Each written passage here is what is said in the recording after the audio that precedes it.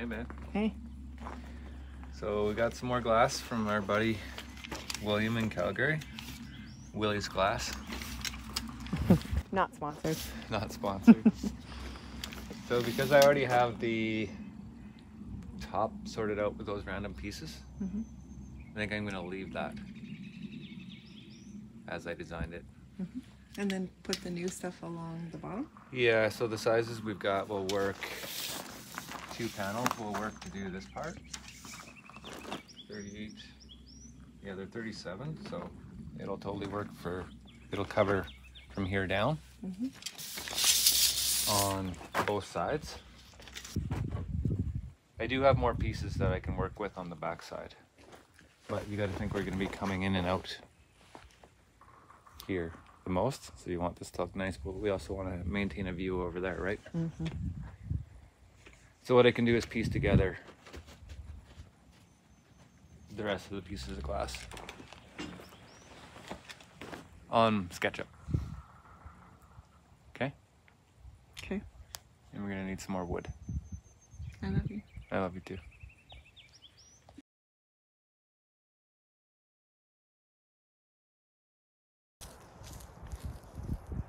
So a couple of eagles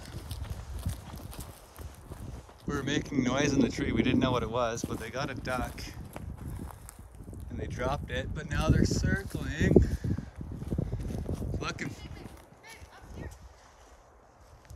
Well, I can Yeah, here he is. Here's one of them coming to, back to try and find it. That's a bald eagle, and there's a golden eagle as well. They're coming back looking for. What are they? They're so smart. It's crazy.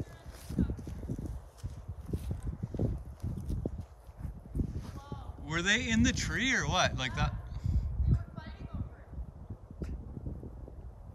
Yeah, like their wingspan is over six feet. It's pretty intense. All right, now we have this big piece of glass for, it's gonna go on the roof, right babe? We got two this size. Okay. We've got two this size and lots of grime on it, but it'll clean up. I'll clean it, babe.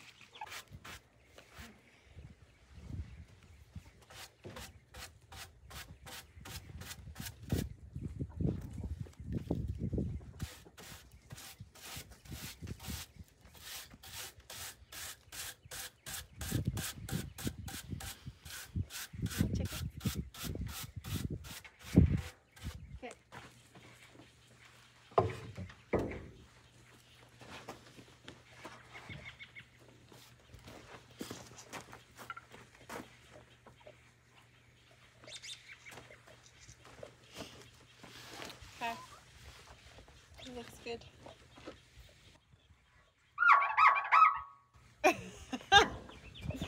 Squeaky clean.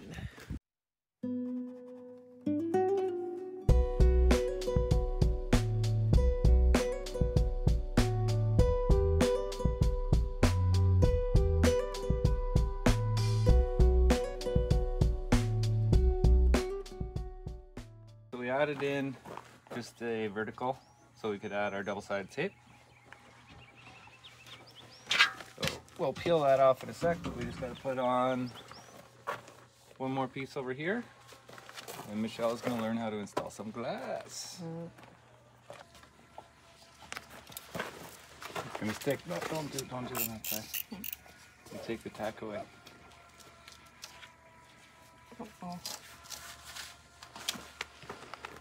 Push it back up. Use it right. And then you can do it.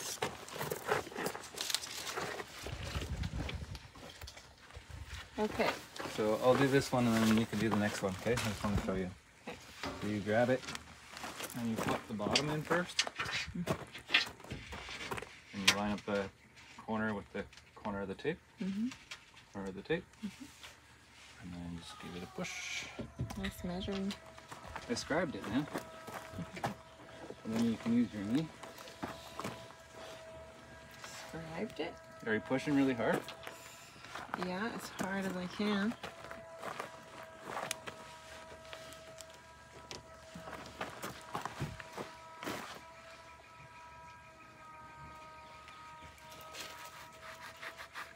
See how you can see how it. Yeah.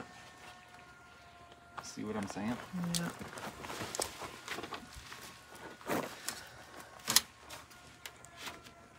It's not even sticking up here. It's okay. We're gonna cover it with some wood to help hold it. Okay. One down, 90 more to go. Really? Cover your ears.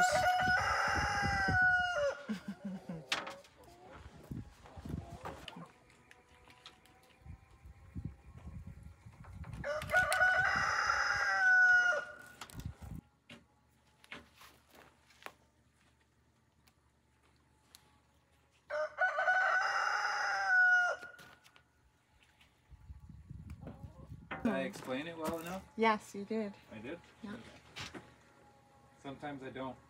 I know. Okay. Line it up. Line it up.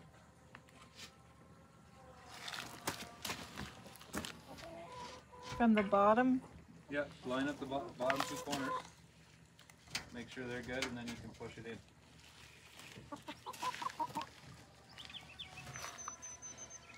Oh gosh, this is scary. Why is it scary? I don't know. Okay, here goes nothing.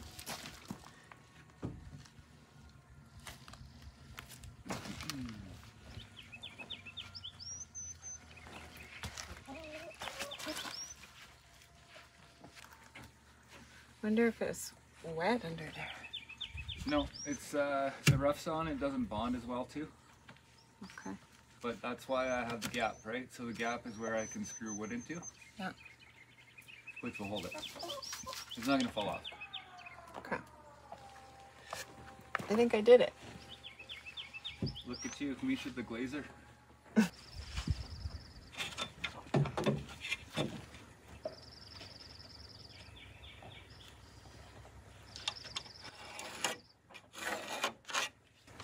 Because I scribed it, we're not going to be perfectly level, but no one will know unless you put that in the video. Then everyone will know. Right? Mm-hmm.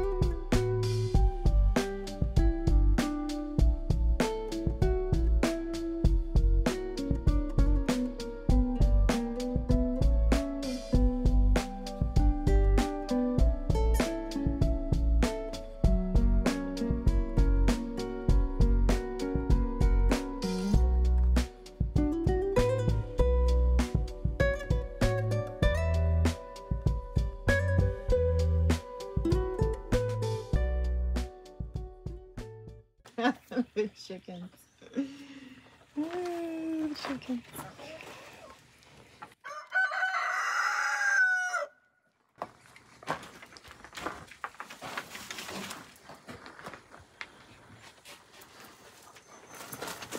What you doing in there, Glendy? Having a dirty dirt bath?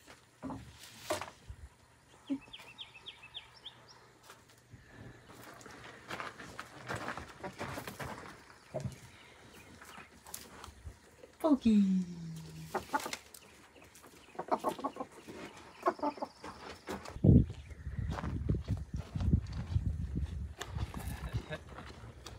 you like it?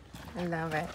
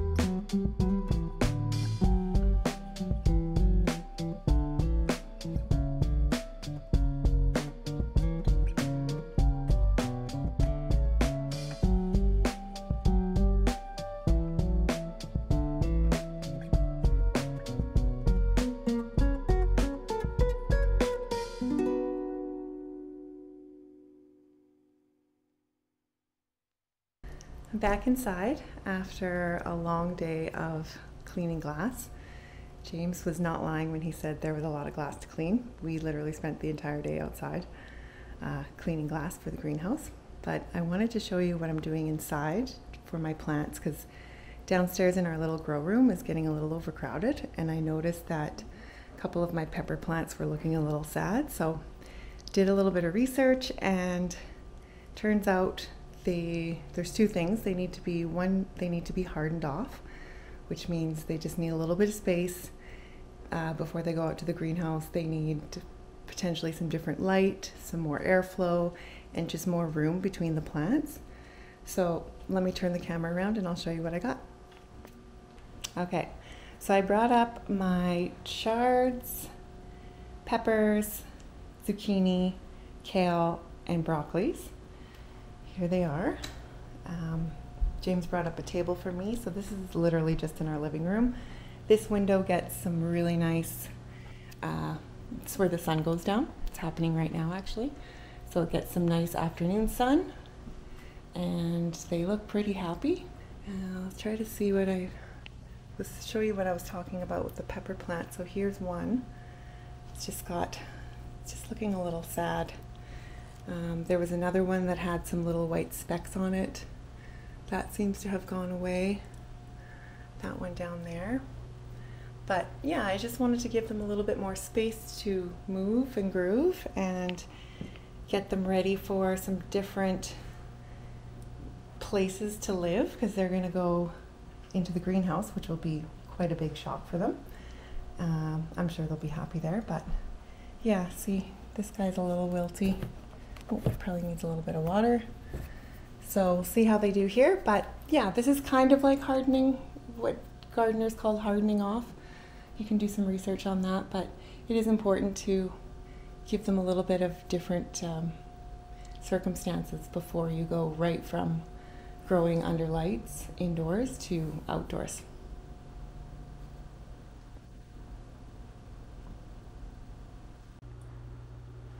Little update on my sprouting onions video that I did about a week ago.